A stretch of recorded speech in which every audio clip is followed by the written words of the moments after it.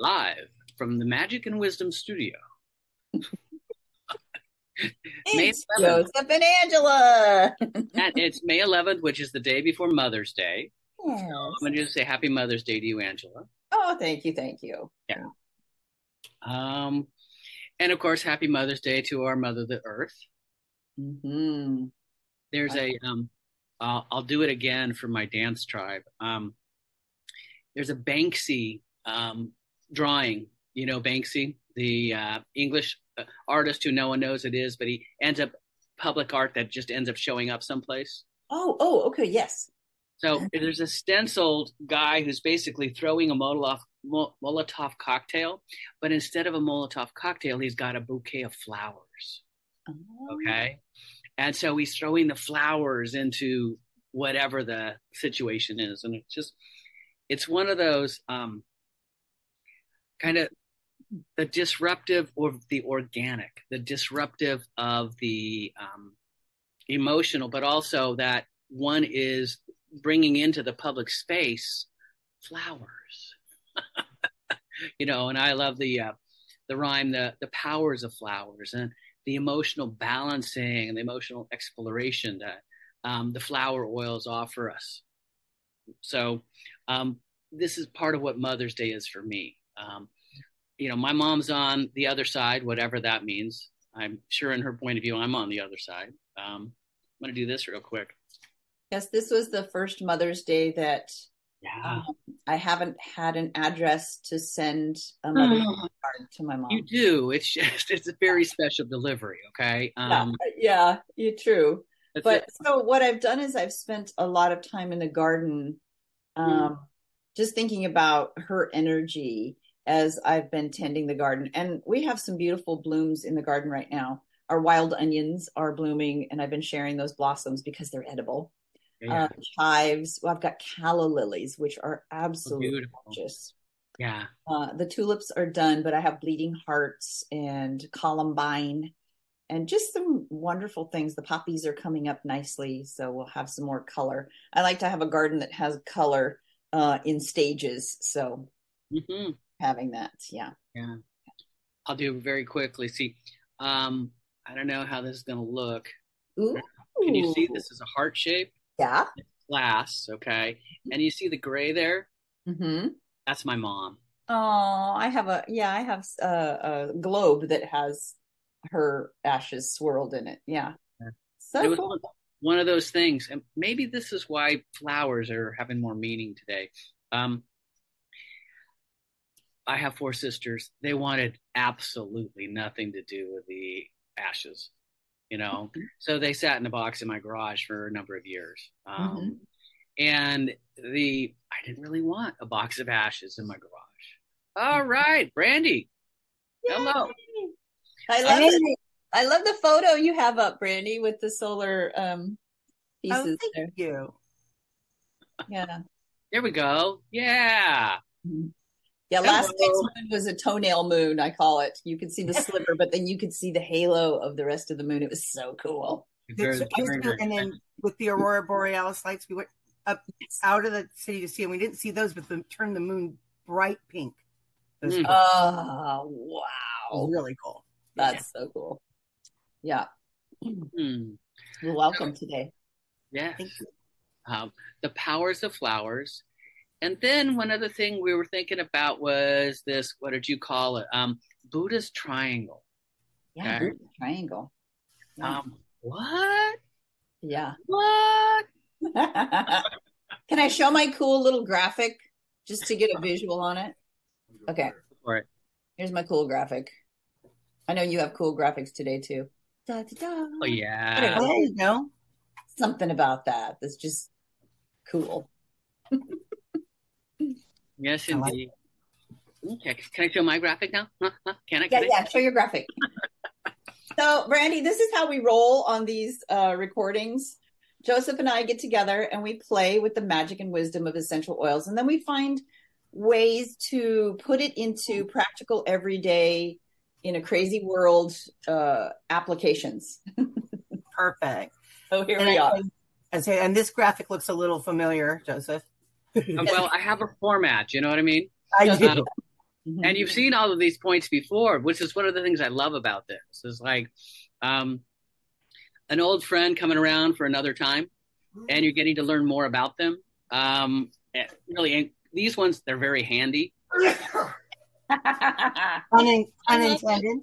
Well, totally. I mean, that's where the word comes from, isn't it? Mhm. Well, um, and then, you know, I'll, I'll get into it later, but they're also very gatey. Um, there's an inner frontier gate, there's a spirit gate, and then there's a great abyss. You know, and I'm hoping that there's a gate before the great abyss so I don't just fall into it. Exactly. I'll walk in front of you, Joseph. It'll be fine. You're a brave, lass. Okay, listen, if anyone's gonna fall into an abyss, it's me. So might as well just might as well look like it's on purpose.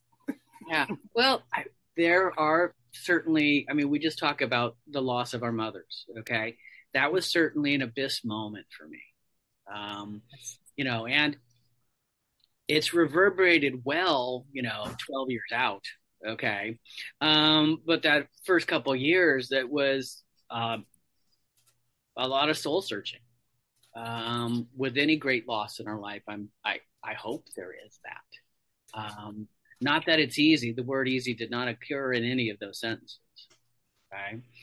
Um, but that we have something we can do with our heart stuff, our mind stuff, our beingness in those situations. That's useful. Mhm. Yeah, And- I think um, just when I think of of going through that uh, because my mother passed last September, and so this is the first Mother's Day without her um, in a physical form.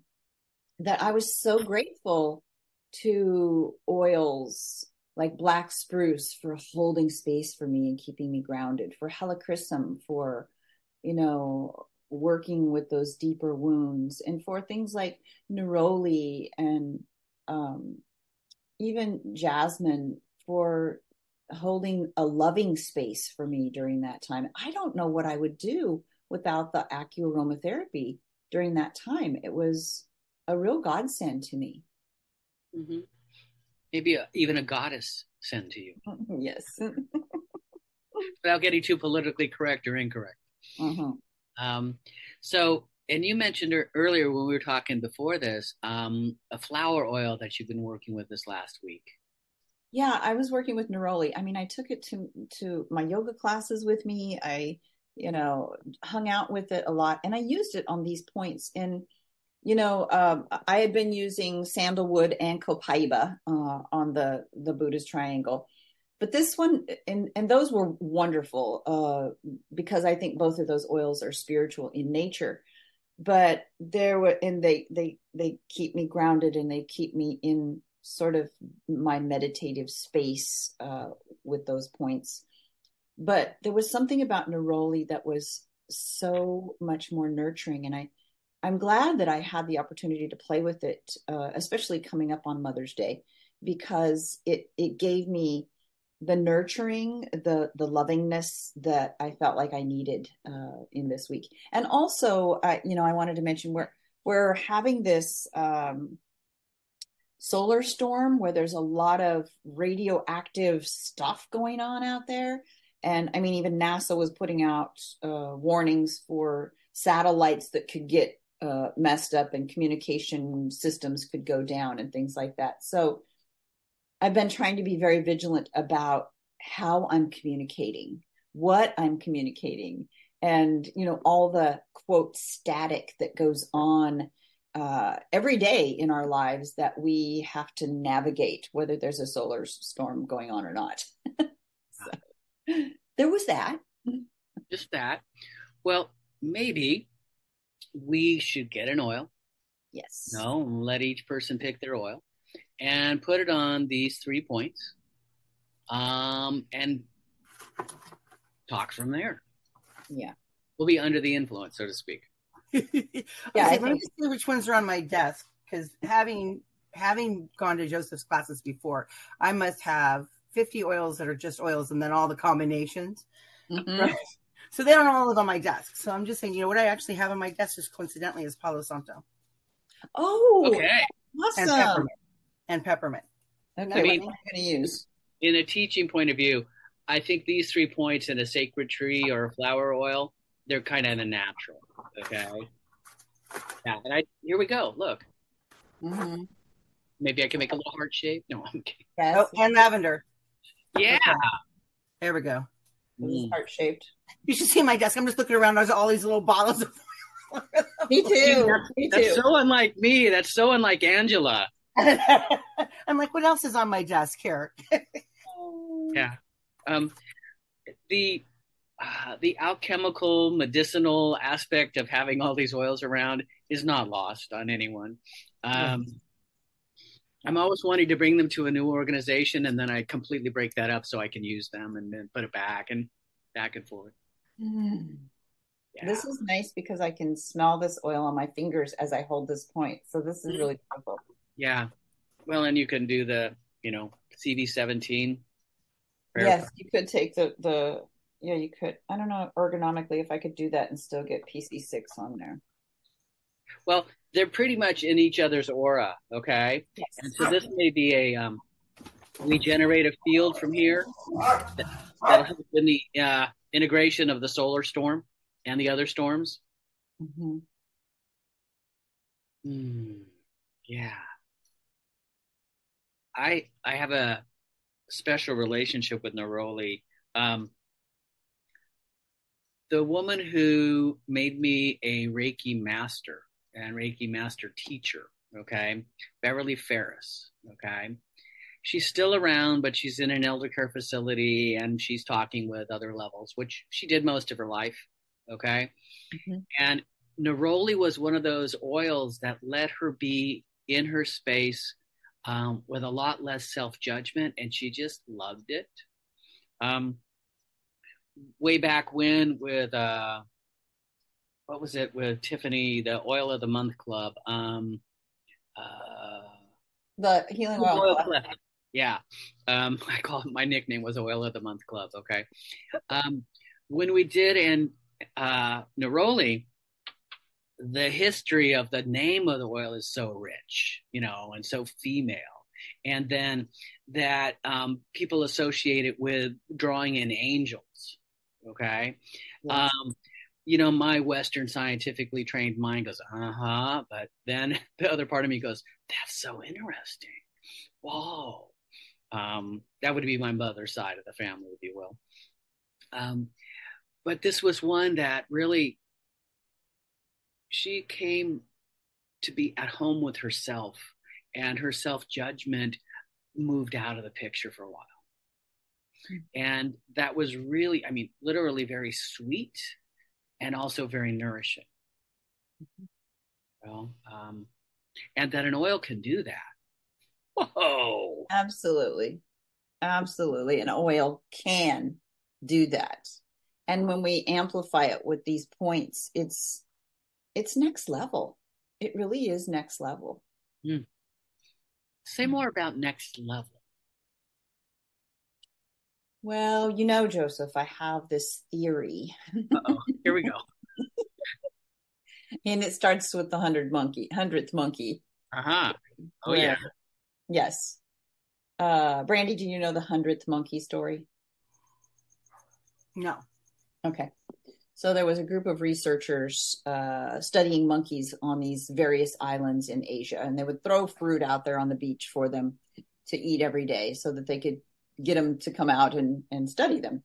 So uh, the, the fruit would get sand all over it, but they would eat it anyway. And one day they observed a monkey on one of the islands who took the fruit down to the water and washed it off. And then pretty soon the other monkeys started doing that. And then other monkeys on other islands were doing that. And pretty soon, every monkey on every island was doing that. Now, these monkeys did not have text messages or cell phones or, you know, internet or smoke signals or anything like that. But there was something, something energetically that was happening. Right. So my theory is that if we start gatherings like this or learning circles or whatever it might be with acuaromatherapy, and we're using this and we're creating these embodied experiences and we're talking about it, that more of these circles will populate the planet And pretty soon we'll be raising the vibration of the globe. but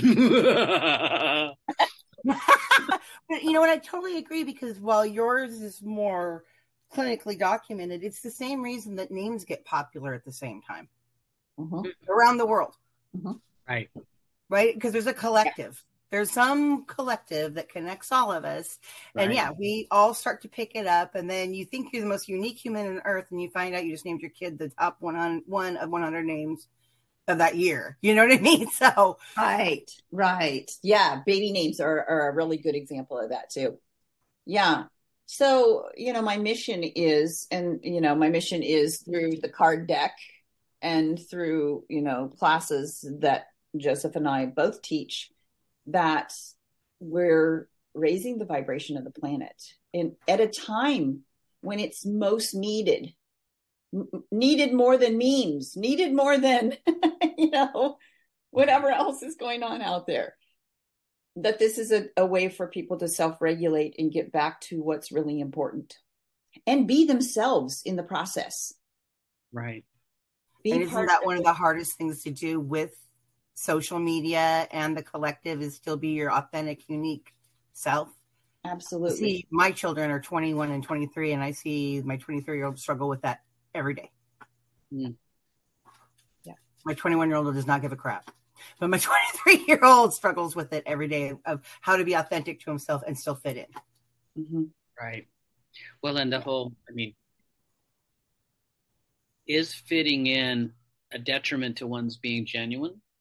Or is being genuine the ideal way or a, a good way to fit in? And saying that fitting in's not easy. Right. Um, the, especially, you know, um, I worked on a 20 year old um, the other day. Okay. Neat young lady. She's an organic um, farming uh, intern at the organic garden I live across the street from.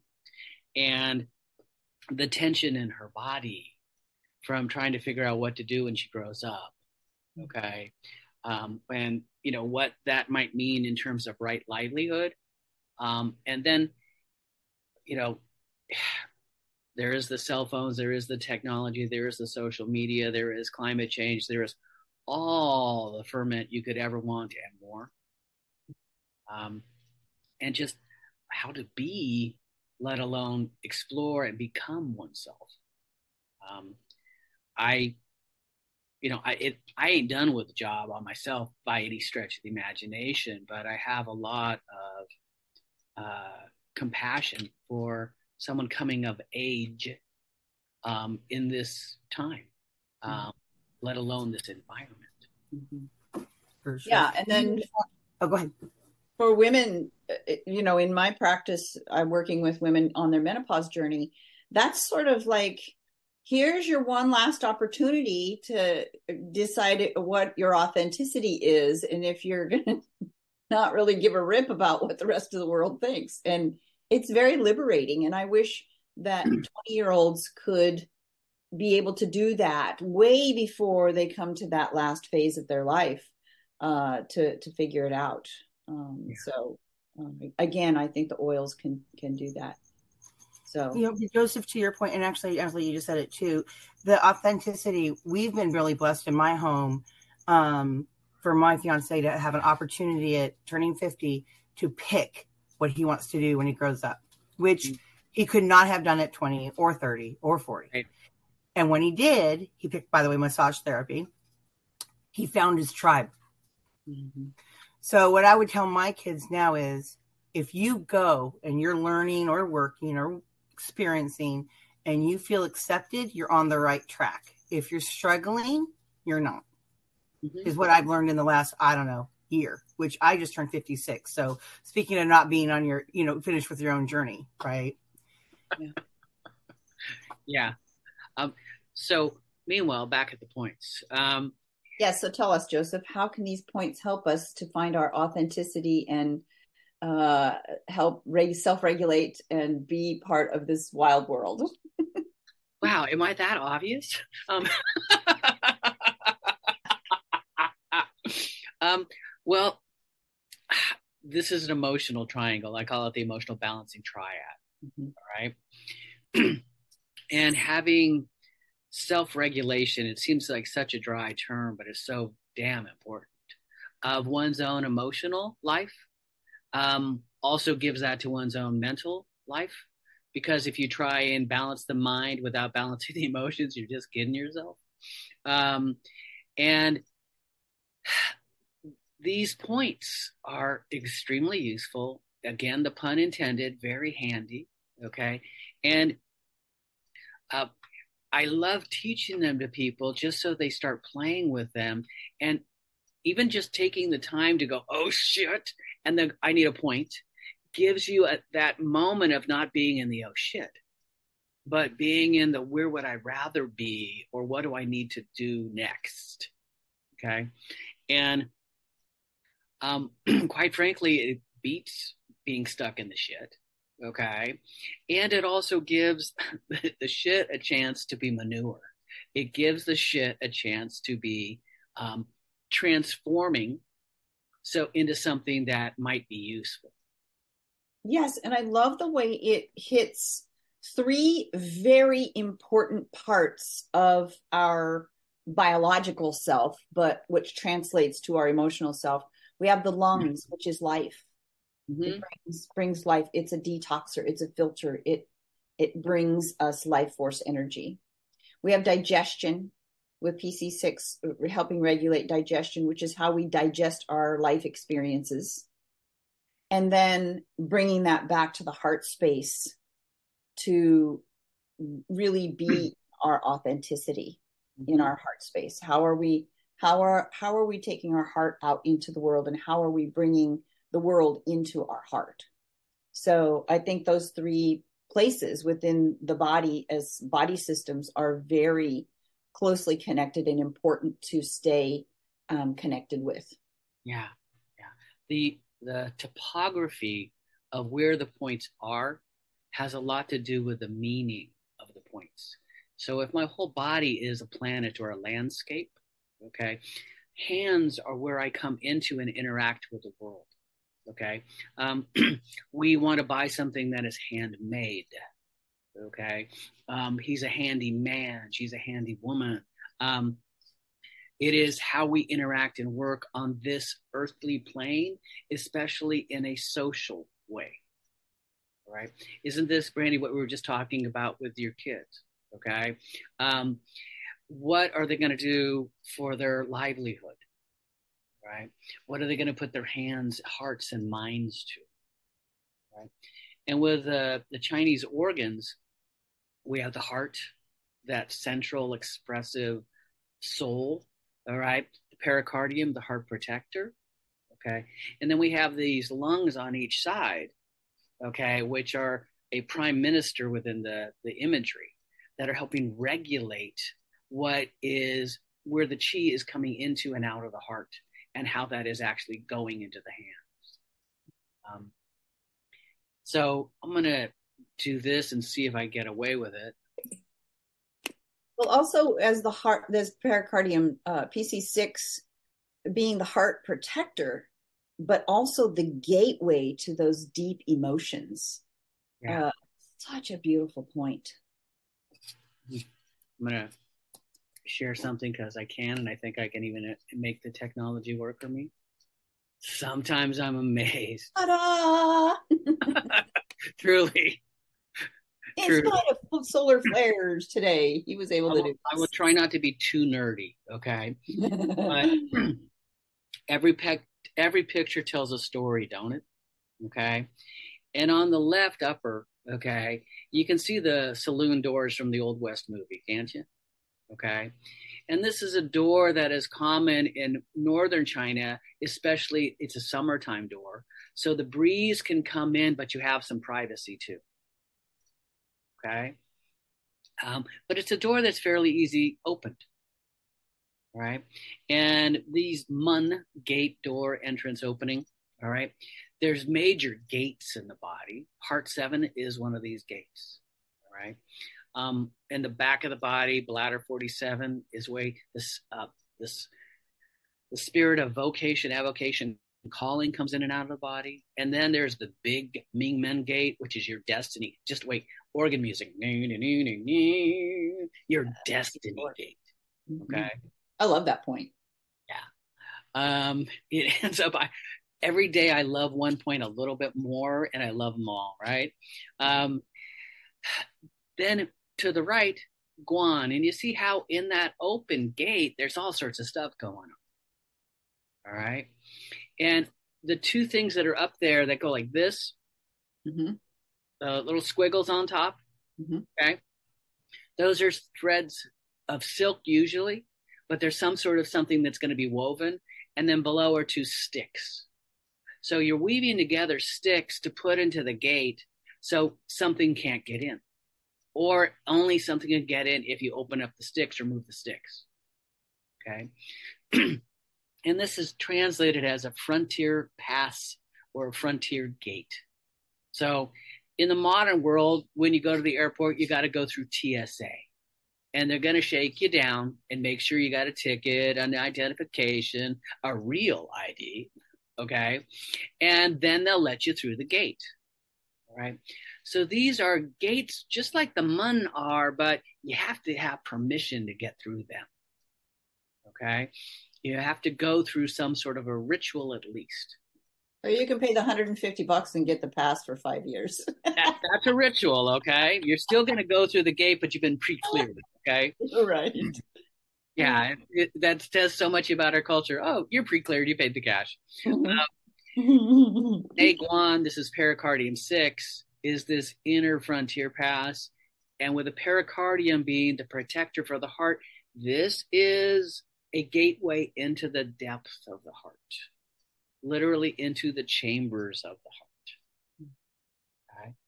Um, this is one of those things where it's like, it normally when you see this point translated, it's called inner gate. And the heart seven is called spirit gate. And in English, they're the same gate. They're not in Chinese. Okay. And what that shows is there's the opening and closing that is natural to the heart, because that's how the heart beats and gets blood to flow is open and close those little gates that are inside in the four chambers. Okay. But the pericardium gate, okay, or this frontier pass, um, it's getting into something so deep that there needs to be, you want there to be a level of protection. Right? Um, I'm going to do this. We're back. this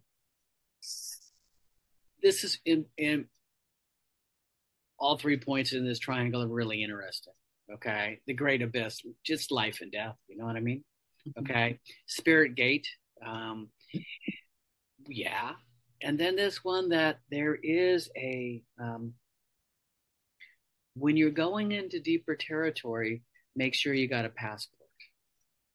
You know, um, and that's within me, but that's also when I'm working with someone and we're heading into deeper territory, um, realizing um, there's a level of permission, a level of trust, and a level of um, being there to listen um, that pericardium 6 guards, protects, and honors. And and don't you feel, Joseph, like at least I do, that the oil itself is part of that passport? Yeah.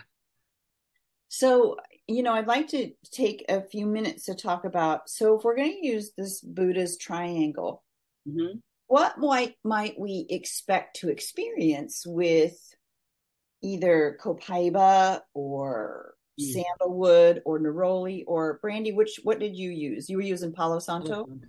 Yeah, I went Palo Santo and then because of uh, more flower lavender as well. uh-huh.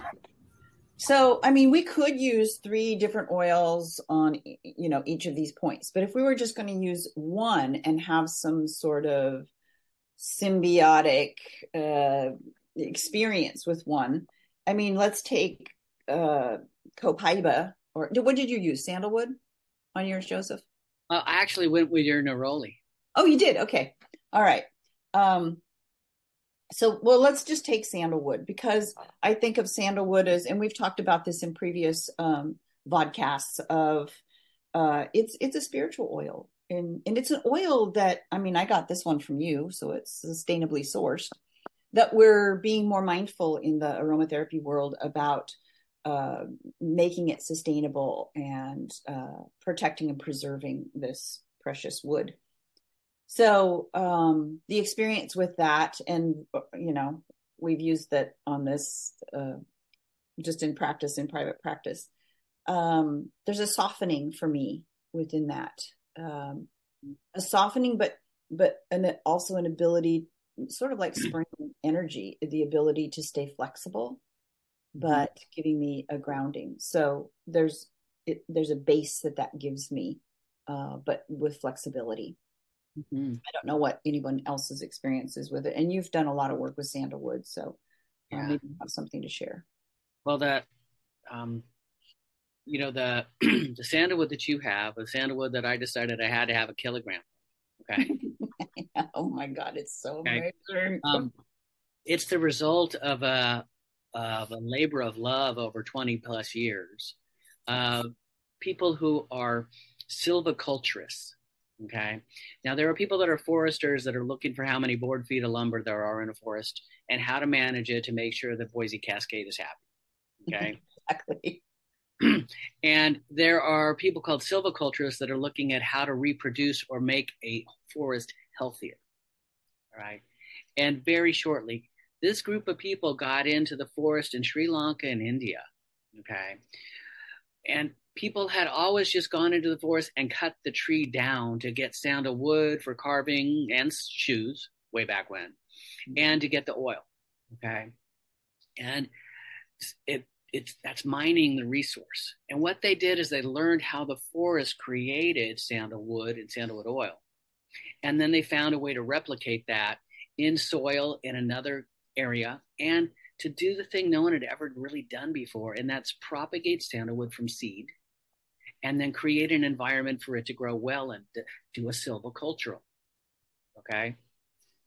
And I mean, they are successful. They keep going. All right. They had a couple of times where they crashed and burned, which is really never good in a forest. Okay. And they now have a sustainable product that actually has impacted the poaching of sandalwood in India and Sri Lanka to the level where India and Sri Lanka are now sending scientists down to North Australia to learn how to grow Indian sandalwood. Beautiful. Okay. So the genome was saved, but also um, we're learning how to grow it. We're learning how to encourage the forest. Um, I'll get off that soapbox for a moment and just the prayerful, um, calming, um, calming the mind. Um, within the Ayurvedic world, um, sandalwood is a very sattvic oil. Mm-hmm. Okay, it has a spiritual calming effect on the mind, body, and spirit. Which, in the middle of a solar storm, or the middle of a pandemic, or the middle of 2024, is probably a useful thing to have access to. Yeah. Okay. So these three points and that oil, oh my God, I can hold my head. Oh, yeah, yeah. But I'm doing the points. Yeah. yeah. And, you know, Brandy, back to your, you know, your kids. Um, this is one of the oils I teach for sustainability, for climate change. Okay. Because they're creating more biomass. Think about how much to get to an oil, sandalwood trees need to be about 20, 25 years. In the wild, they need to be about 30 to 55 years old. So they found a way to sequester carbon faster, create a forest, and they created a forest that has more biodiversity than had been there before. Okay, which means they can also go regu- or rescue some of the biodiversity in Sri Lanka and India. But that is a calm, steady mind, which is really never true of a farmer, but that's what they have in their heart. you know, anyone who's growing Angela, you're a gardener, okay? There's a calm place in your heart for the 10,000 things you have to do today, okay? Not to mention weeding, okay? For so, watering. I'm already yeah. watering more this year than I was in the past because it's been warmer. Yeah, and it's going to be that way for years to come. Mm-hmm. You know? So where was I? I was out there with Sandalwood, thank God, um, or goddess, um, or the deity of your choice in that case. Um, that ability to go out of the busyness of what we think we're supposed to do, okay, and into something that comes from our heart, you know, through our hands, through our lungs, through our from the pericardium opening, okay. I think that would be a good way to figure out what our livelihood is, rather than where can I get a job, okay. If I, you know, or chasing what social media thinks we should be doing. yeah, yeah you're not successful unless you're posting 15 things every day with reels that you've it's like forget it it, it it's hyper busy like our cultural mind and heart are okay um i don't want to get into too much social critique but um in the larger society the most prestigious and remunerative jobs quite often have that keep it moving, keep it busy. Yeah. Right? Um, so, well, with sandalwood, let's talk about the heartwood. I mean, really, when we when we're working with sandalwood, when we're trying to bring this into our lives in a, a, a meaningful way, we have to get to the heart of things. And when we when we do things from the heart space, it's so much easier and it's it's so much easier to not think about what the rest of the world is thinking about us because we're heart centered and when we get in that mind space where the heart and the mind are not connected which we can connect with these points then we can be in that space to know what to do next or what to do in the moment whichever is appropriate right and i think copaiba speaks to that as well um, although it has a little bit different quality for me personally. Mm-hmm. Um, it doesn't to for me it doesn't go quite as deep as sandalwood does, but I do feel there is that uh, relaxing quality that I can relax into it with these with these points. Um, I do feel like it is a spiritual oil. Um, mm-hmm. Well, it's a spiritual oil from really very teeming tropics mm-hmm. um, the Amazon forest versus the sandalwood forest. Mm-hmm. Okay, and so there's there's a difference. Okay, um, and not that the sandalwood forest doesn't have monsoons, but it doesn't have anywhere near the water that Amazon has, which means it doesn't have anywhere near the insect life and burden. Okay, and pollination, but also um, Copaiba seems to make this oil because it's been it's protecting itself from all those little bites okay and the the protective nature of resins from trees okay which is where we get the oils from trees okay? There are leaf oils but i'm talking now about the heartwood oil okay? Um, it has a protection and a resilience. Um, it, there is a very pericardial piece to it okay? It's protective okay and it helps it open and it helps it heal wounds. And having spent some time, uh, you know, on the Riviera Maya and the Yucatan Peninsula, uh, I when I smell copaiba, I and then smell sandalwood, it's almost like I can feel the cultural nature of it too. Uh, it's crazy, I, and I don't even know how to explain that, but I can feel the culture of the people of Copaiba. Yeah. Yeah. Yeah. Yeah, it has a little Brazil to it. Um, yeah. What if the culture came from the land and the plants rather than the other way around? Yeah, absolutely. Okay. And I've spent time in Sri Lanka, so so I know the culture of sandalwood as well. Mm-hmm. Um, so it's it's been fun to com- compare or experience it, uh, both of those. So yeah and maybe that that can be part of exploration for people who are working with oils you know to to know about the culture. And I think that's what we're trying to do here in the magic and wisdom of essential oils is expose people to the folklore and the culture of oils and then how you use those on the points and how all of that is part and one of the same. yeah. Um, yeah. I, you know, I love sandalwood and I could talk about it forever and I'll probably do that sometime soon. Okay. Well, mm-hmm. forever's a long time, so I'll, I'll just keep doing it. um, but I want to go back to um, what you brought today, the neroli. Okay. Yes. Um, so theoretically, it's named after the princess of Nerola, Italy. Okay. And theoretically, I mean, later after the naming of it, it becomes an oil that the ladies of the night in Seville, Spain use to advertise their services while they're walking on the street. Okay. So they're fragrant streetwalkers. I'll just leave it at that. Okay. Mm-hmm. Um, and it, with honor and with grace. All right. And then the, the legend, at least around Rola, okay, is that she centered her parchment. Remember, people used to write letters, okay? And in this era, people wrote letters with quills and it, heart and soul on parchment, okay? And so this is actually a document that's being created, not a text that's being sent and forgot. And that you oh. realize oh. that you have to do spell check on because you really messed it up and that energy is flowing right through all three of those points right in fact coming to that yeah okay?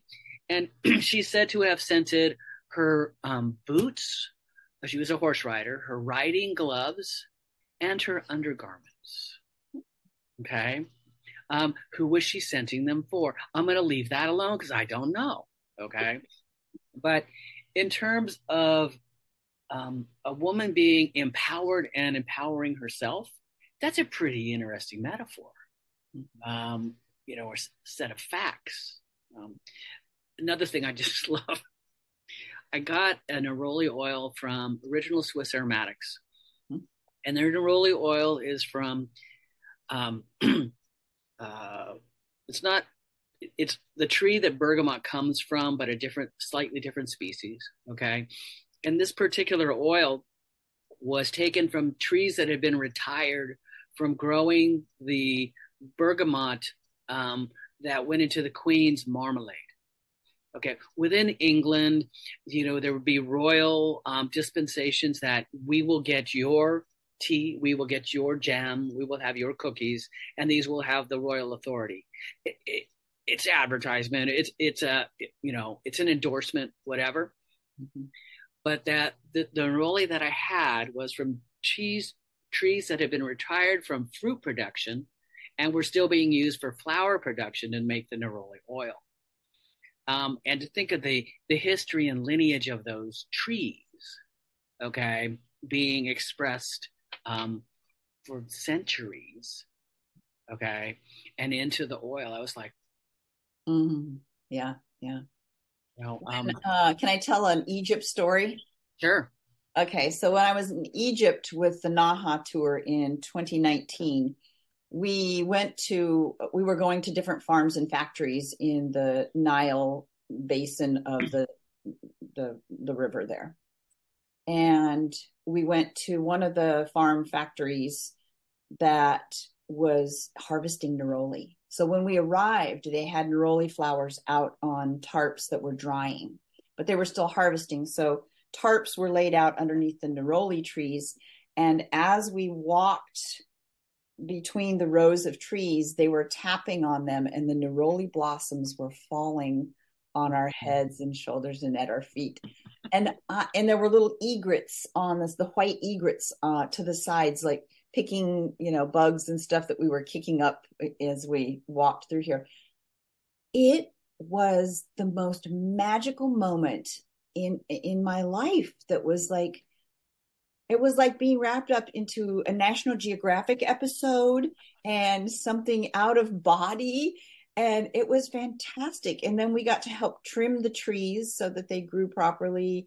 Uh, they had the the leaves so they were doing a distillation of the petitgrain uh, at the same time. It was it was a full package that day, and just the euphoria that I had that carried me late into the night that that night was just like let's do that again tomorrow. And the next day and the next day. Yeah. And the people that were there the orchard workers were so happy. They were so excited to share their work and and their craft with us so you felt like that energy was also going into this distillation. It was quite an experience. Yeah.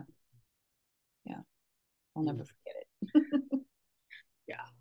When when i'm teaching flowers i often have people become aware of the time of day that the flowers are picked for distillation.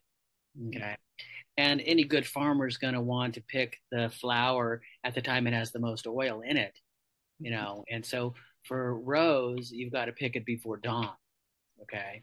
Because the waxes that are in the rose oil um, are so volatile that if the temperature gets much above 60 degrees, they just go, they're gone, okay? Um, neroli tends to be picked during the height of the day. Um, its flower has the most oils in it at solar noon, if you will. Okay, so it is a very solar oil where um, rose is a dawn oil, um, and you know, uh, night blooming jasmine. When do you think they pick that? 3 a.m. at night. That's when okay? they were out in the fields. yeah, and so there is um, a time signature piece to it. Um, and it's just with all flowers, oils, it's a moment. I, I, talk about trees are the oil of a lifetime. Um, the citrus fruit shows a whole annual cycle. All right. Flowers are the magic of that moment. Mm-hmm. And Angela, you had a very magical moment there. Did yeah. And there's only a specific time during the day in the cycle of a flower where it sends out its pheromones to call in the pollinators, um, yeah. which is really interesting. Uh, power so, to the pollinators. Power to the pollinators. yes, I have my little um, sticker from the pollinator affair that I was at this last. on. Where I set up the still. This uh, is a, a sticker that was made from a painting that one of the organizers' daughters did that we raffled off but it's got the hummingbird. It's got a moon behind the hummingbird's head there, yeah. and a bee up there in the clouds with the flowers. It was so cute. Oh yeah. So yes. Get me a really high resolution scan of that, okay? Okay. yeah. Um. I mean, look at this. Now, neroli and sandalwood are an excellent combination. Absolutely. Okay. They're calming and euphoric. Okay which is really, really nice at various times of life, calming and euphoric. Okay. Especially when you literally come just out of the rat race and you're trying to figure out how am I going to wind down, you know, and how am I going to have some quality time. Okay. This is when I put on John Coltrane. right? this is when I, I mix the sandalwood and the neroli and get a little bit into the rhythm of life okay? The flow of life not the busyness of life. Yeah step off the hamster wheel and you know just just be. Yeah just be. Yeah. Mm-hmm. all that oil from a flower and a tree. Oh my god. I know i know. Yeah. Well yeah. i want to hear brandy i want to hear from you like what was your experience with the oil that you used um and just sitting i mean i don't we didn't it's like Palo Santo and lavender yeah? Yeah lavender. Very nice, very open, mm-hmm. very warm. Mm, yes, I love that warmth. Yeah. Right? Just that that oil hug. Uh-huh. You know, you know what I mean? Um, I'm glad I added the lavender to it because Palo Santo can some make sometimes get me a little too far in my head. Mm-hmm. And I need to lighten up sometimes. So I'm glad I added the lavender to it. Mm-hmm. Yeah, and you know, you can do this before you go to work and then no one knows. Okay. Right. well, it's interesting because as I said, as I look around my desk, I actually have a couple of, you know, concoctions, right? And I have a sage rosemary here mm. that I like midday, little pick me up. It always kind of picks me up.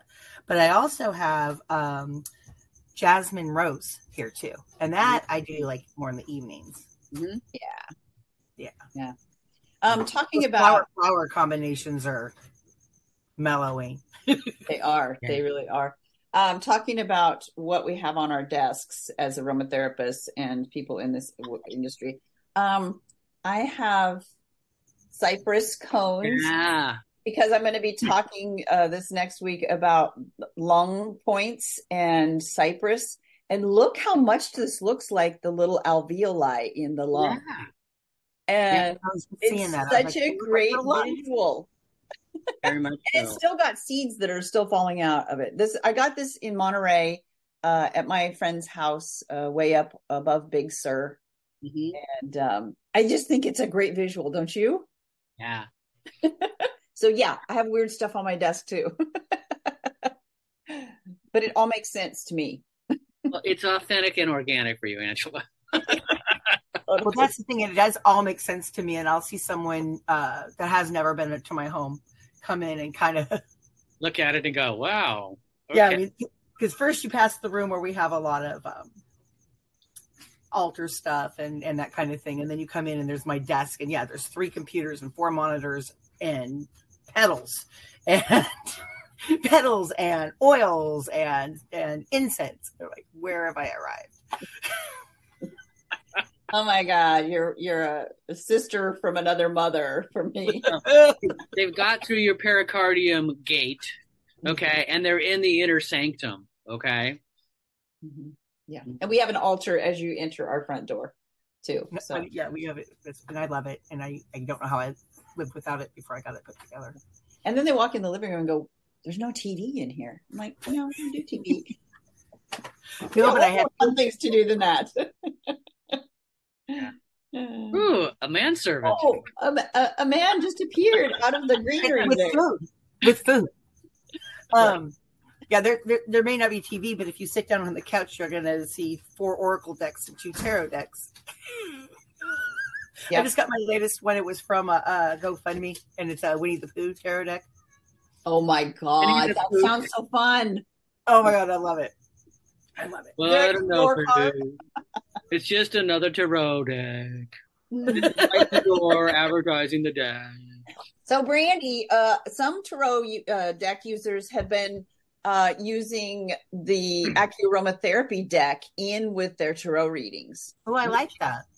Crazy fun. Yeah. And I even pull cards like past, present, and future with these cards. And then we work on that point and oiled with something that re- relates to your past and present and future. Oh, I love that. Yeah. So much And then fun. you can then you can send them away not only with the knowledge and the feeling, but if you give them the oils and let them Right.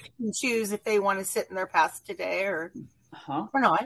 I mean, whatever works. Tarot homework. Row homework with oils. Look at it all come So together. that- and Could be better. if if you give them the oil on a Q-tip for the point, Yes. then give them the Q-tip to take home. Okay. And if you did three different oils for three different points, then you have a little bouquet. Oh, I love Put them in the little mini Ziplocs and have them take them home because then they don't have to put my, it's not in my trash can. Um, Right. There's still oil in there. It's still got two, three times it could be useful. Okay. Right. And what I've gotten stories back, like some people that throw them in the car. Okay. And they're in a traffic jam and they open up the bag and they go, I love this traffic jam. Which is a real different way to have a traffic jam. I can see your, I can, Brandy, I can see that the wheels in your head spinning right now. Oh, yeah. they are. They are. Well, as they as they should be. Um, we're we're we're nearing wrapping up. Um,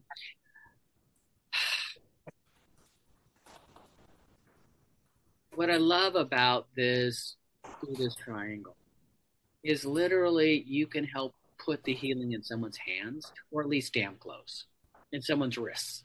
Okay, and you then give them something they can self use, self reference, and in a way, self medicate and even self meditate.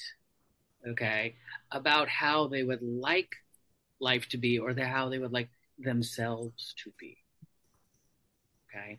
Um, permission to be authentic. I know I didn't have that when I was in high school. You know, I don't think social media is really uh, fostering that in people generally. Okay. Um, no, it gives them a mirror. It gives them a mirror of what they think society is, and they try to reflect it, right. and it's not real.